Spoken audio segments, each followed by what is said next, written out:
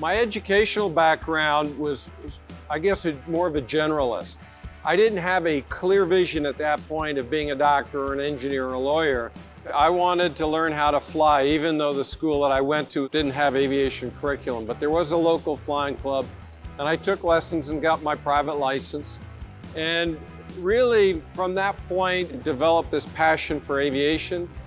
So, um, although I was a history major and didn't study the sciences or engineering, I uh, decided that I wanted to go into the Navy and fly aircraft on and off of carriers. So in 1980, I joined the U.S. Navy for seven years of active service.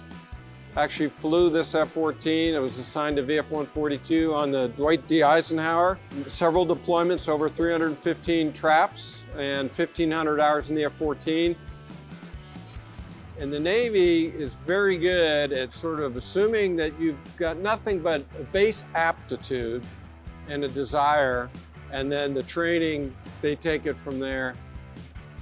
In flight school, I got what was called a flight down, which meant I had failed that training evolution.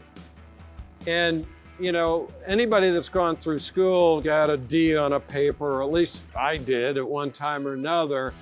But in flight school with the Navy, if you had successive downs, as we called them, you were out of the program. You were done.